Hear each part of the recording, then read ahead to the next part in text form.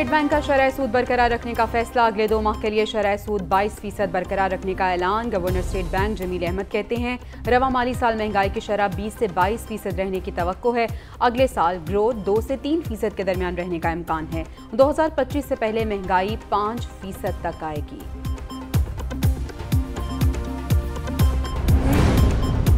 सरमाकारों का अहतमाद बहाल। पाकिस्तान स्टॉक एक्सचेंज में रिकॉर्ड तेज़ी। मार्केट में नौ सौ सत्तावन पॉइंट्स का इजाफा। हंड्रेड इंडेक्स दो साल बाद अड़तालीस हज़ार चौंतीस पॉइंट्स पर जा पहुँचा। उधर इंटरबैंक में डॉलर उन्नीस पैसे महँगा, दो सौ छियासी रुपये चौंसठ पैसे पर बंद हुआ। ओपन मार्केट में डॉलर दो सौ इक्यानवे रुपये पर मुस्तहकम रहा।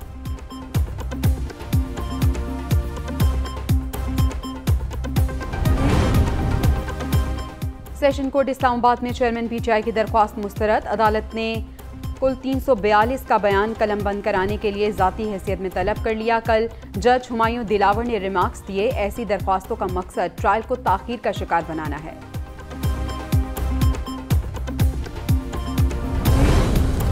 ऐवान सदर में चीनी नायब वजी अजम को हिलाल पाकिस्तान का एजाज़ देने की तकरीब। सदर आरिफ अलवी ने चीनी नायब वजी अजम हीली फेंग को सिविल एजाज से नवाजा।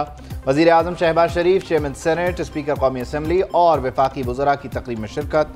अस्करी क़्यादत भी तकरीब में शरीक हुई।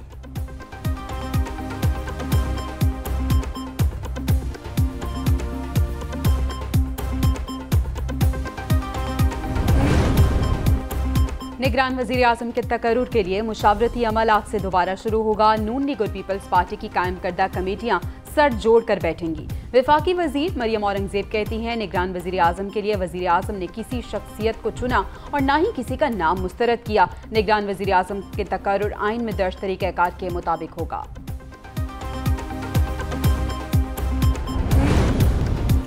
बाजोड़ खुदकुश धमाके में जाम बहक अफराद की तादाद चौवन हो गई। Additional I G C T D Shaukat Abbas कहते हैं, हमला आवर और ग्रुप की शनाख्त हो गई है। इब्तदाई इंक्वायरी में तकरीबन मुलजमान तक पहुँच चुके हैं। निगरान वज़ीर अला के पी आज़म खान का बाजोड़ का दौरा, शहदा के लवाहिकीन से ताज़ियत और जख्मियों की अयादत की।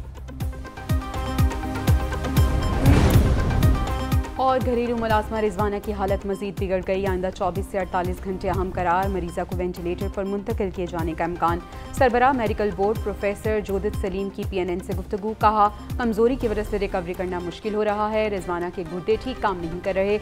बच्ची के सर, कमर और निचले हिस्से पर जख्म है।